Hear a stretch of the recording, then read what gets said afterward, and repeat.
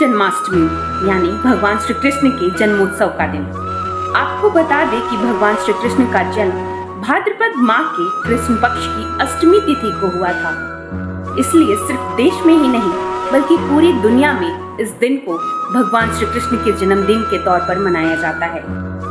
इसके साथ ही श्री कृष्ण का जन्म रोहिणी नक्षत्र में हुआ था। इसलिए इस दिन रोहिणी नक्षत्र को ध्यान में रखकर ही पूजा या व्रत किया जाता है। लेकिन इस बार कृष्ण जन्माष्टमी को लेकर लोगों में काफ़ी कंफ्यूजन है। कई लोग इसे आज, यानी 6 सितंबर को मना रहे हैं तो कई 7 सितंबर को। ऐसे में जानना ज़रूरी है कि आखिर श्री कृष्ण जन्माष्टमी है कब। तो आइए आपको बताते हैं इसकी सही तारीख। कब है जन्माष्टमी? इस बार भाद्रपद कृष्ण जन्माष्टमी 6 सितंबर को। दोपहर तीन बजकर अड़तीस मिनट से शुरू होकर दूसरे दिन, यानी 7 सितंबर शाम चार बजकर चौदह मिनट तक रहेगा। इस दौरान रोहिणी नक्षत्र पूरी रात रहेगा। शुभ मुहूर्त। जोशियों का कहना है कि इस साल गृहस्थ जीवन के लोग 6 सितंबर को जन्माष्टमी का त्योहार मनाएँगे।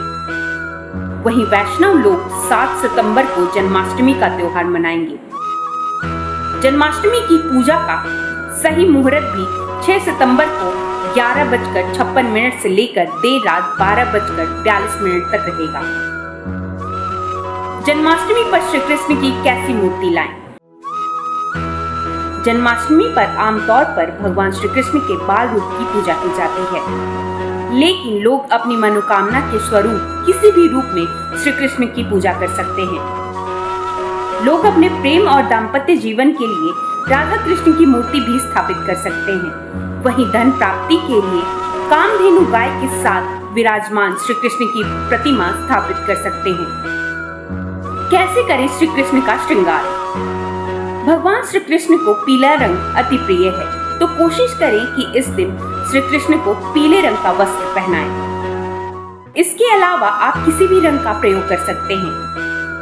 लेकिन काले रंग का इस्तेमाल बिल्कुल न करें। इसके साथ ही जन्माष्टमी पर श्री कृष्ण के श्रृंगार में फूलों का खूब प्रयोग करें।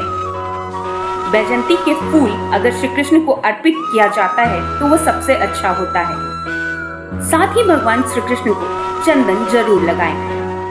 क्या होगा श्री कृष्ण का प्रसाद? जन्माष्टमी पर श्री कृष्ण को पंचामृत ज़रूर अर्पित करें। उसमें तुलसी ज़रूर डालें। क्योंकि तुलसी श्री कृष्ण को अति प्रिय है। इसके साथ ही आप माखन मिश्री का भोग ज़रूर लगाएँ। कुछ लोग इस दिन धनिये की पंजरी भी श्री कृष्ण को अर्पित करते हैं। कैसे मनाए जन्माष्टमी? जन्माष्टमी की सुबह उठते ही ओम नमो भगवते वासुदेवाय का जाप करके श्री कृष्ण को याद करें।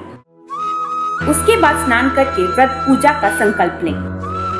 दिन भर जलाहार या फलाहार ग्रहण करें। और सात्विक रहें। कई लोग इस दिन निर्जला व्रत भी रखते हैं। भगवान का जन्म उत्सव मध्य रात्रि को मनाया जाता है। इसके लिए मध्य रात्रि में भगवान श्री कृष्ण की धातु की प्रतिमा को किसी पात्र में रखें। कोशिश करें कि ये पात्र पीतल या चांदी के हो। इसके बाद उनको दूध, फिर दही, फिर शहद और शक्कर और अंत में घी से स्नान कराएँ।